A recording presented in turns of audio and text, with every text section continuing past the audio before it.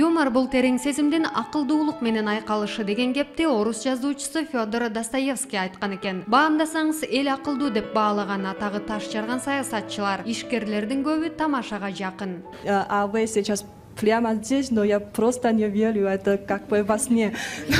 Но да, э, и у меня... Я вас ущипну потом. биздин калк деле күлгөнгө мыкты жана күлдүргөн куудулдардан уучубуз кур эмес. Куйкумдуу сөздөрдү чукугандай таап кара жаак чечен куйручуктун жолун улап күйдүрүп да сүйдүрүп да айткан куудулдарыбыз бар. Алардын бири көзү өтүп кетсе да кезинде айткан тамашалары аркылуу эл эсинде сакталып келе жаткан куудул маркум манас бердибеков. Дүйнөдө жакшылык ишиң менен. Бир эки жигит таанышып атат окшогон эле колхоз билинип турат ар жагычы шаардын кийимин кийип алган да жанындагыдан сурап атпайбы э ты из где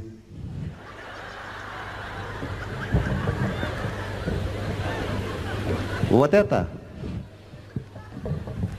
от колхоза үч эмчек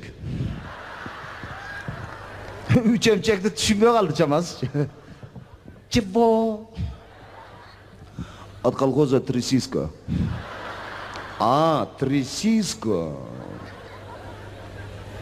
здесь чоделищ город. Университет читаю.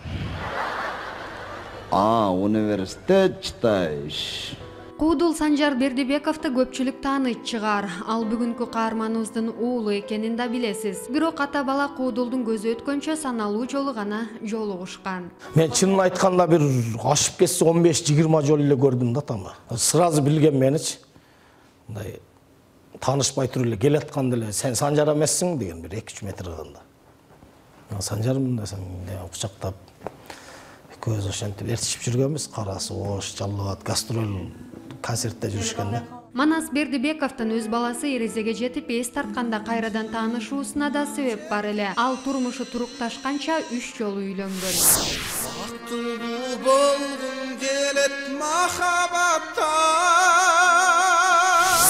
санжар манас бердибековдун биринчи жубайы экөөнүн ортосундагы уул манас бердибеков маданият үйүнөн билим алууга кеткенде жубайы баласын алып кеткен бойдон келген эмес эми айылда баягы тайата тайнем ата апа деп чоңоюп үмөталиев деп фамилиям да ошондой да ошентип чоңоюп анан мындай көңүл деле бурбайт элем көңүл деле бурбайм мен чал кемпирдин баласымын. А бирок училищада окуп жүргөндө ошол жерде эстрадасы бар экен мен ырга кызыгып кеттим да анан ошентип бул талант ээлерин кайрадан өнөр табыштырган табышмактуу тагдыр ээси манас бердибеков аты элге таанылып куудул катары калыптанганга чейин даалай узак телчигүү жолдорун басып өткөн. Адегенде концерттерде алып баруучу болсо кийин кара суу маданият үйүндө түзүлгөн мурас эстрадалык тобунда музыкант болуп тамашалык интермедияларды аткарып жүргөн. Аталган маданият үйүндө иштеп турган кезинде азыркы жубайы малика айым менен таанышып өнөр жолунда эри шаркак көп жерде элди кыдырган. Көп сөздөр жаман сөздөр болуп жүрдү көп үйлөнгөн тигиндей мындай тиги бу деп анан мен деле баягы турмушка чыгып неме болуп кеткен болчумун өзү ажырашып кеткенмин айтып калды анан кийин ушундай мен үйлөнөт элем тиги бу тиги бу сен дагы мындай мен дагы мындай экөөбүздүн эми баягы тагдырыбыз окшош экен дегендей сөздөр кетти анан үйдөгүлөр каршы болгонуна койбой мен дагы үйдөгүлөргө ачык эле айттым ушундай ушундай болуп атат десем алар дагы отказ кылышты үйдөгүлөр булардыкы да ошентиптир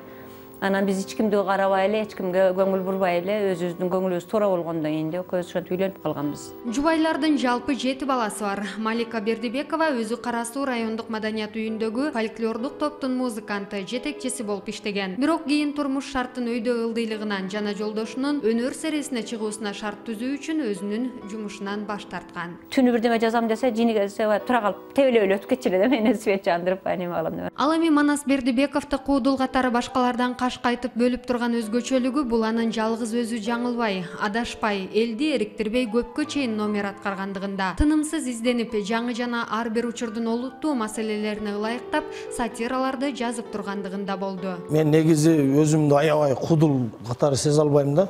Себеби а бирок мен өзүмдүн деңгээлими билем мына интермедияларга көп массовка ойносок жакшы ойнойм да. Анан атам окшоп жалгыз сүйлөй албай атам да жакшы буну эл деле билет. Атам жалгыз сүйлөгөндө элди аябай күлдүргөн да мындай туруп алып ардекени окшош тургандагы менде андай талант жогураак да алла таала аялды жасап кирген экен ошондон кийин күн тийип турган учур экен аялды жасаганда күндүн нурунан алып анан айдын ойноолугу менен токтоолугуна кошуп аралаштырыптыр аралаштырып аралаштырып дагы эмнеден кошсом деп туруп ушундай караса гүл өсүп турган экен ошо гүлдүн назиктиги менен жытынан кошуптур биякта караса суу агып аткан экен суунун тунуктугунан кошуптур кандай жасалып атат э аял анан асманды карай койсо сагызган учуп кетип аткан экен шакылдагандан кошуп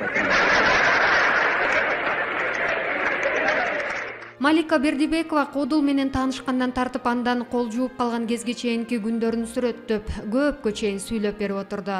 Кадимки эле көп адамдын башынан өтчү жагдайлар. Түштүктөн борборго көчүп келүүсү. Концерт коюп андан түшкөн каражатка кыймылсыз мүлктөрдү сатып алган кубанычтуу күндөрүн баяндады. Ошондой эле аялдык кылып айрым учурларда манас бердибековдун башка куудулдар менен болгон мамилесине киришип жүргөнүн да моюндап сөз ортосунда азыркы аттуу баштуу куудулдардын дарегине нааразычылык да кыстарып жатты. Баягы рахмандар менен баягынтип эле ар кандай нерсе жасай бергенде чынын айтканда биз көп катышпай калганбыз концерттерде учурашып мындай сүйлөшө берчүбүз бирок үйлөрүнө көп эле катышып көп эле барбай манасты мен чындыгында аял кишилик кылып бузганмын манас бердибеков бир миң тогуз жүз элүү алтынчы жылдын он бешинчи майында базар коргон районунун баймундус кыштагында төрүлгөн быйыл көзү тирүү болсо алтымыш жашка толмок. Ошол кезде маданият ишмерлерине көп көңүл бурулбагандыгына түрдүү турмуштук сыноолорго кабылгандыгына карабай көкүрөгүндө уялаган өнөрүн элге сатира аркылуу көрсөтүп келди. Ал жазган сатиралар турмуштагы коомдогу оош кыйыштардын азилге айланып айтылган көйгөйлөр эле. Учурда анын кыргыз маданиятына жасаган эмгеги бааланып базар коргон райондук маданият үйүнө ысымы ыйгарылган анын жазган азил тамашаларынын топтому китеп болуп чыкты. Малика бердибекованын айтымында өлүмүнүн так себеби ушул кезге чейин табышмак. Ысык көл жергесиндеги гастроль учурунда атагы чыгып дагы көп иштерди аткара турган кезинде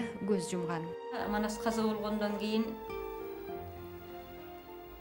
карасам мен бир жыл эки жыл өзүмдү мындай ордума келе албай жүрдүм. Чындыгында мен өзүмү жоготтум аябай ушундай ажырап калам. Бул эмне деген жашоо эмне деген кантип каза болуп калды эмне болду деген суроо.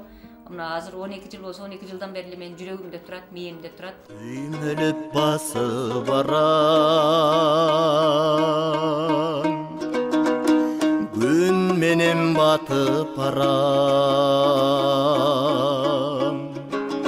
Күн чыгат кайра кайра Мен чыкпайм жашып барам Жашып барам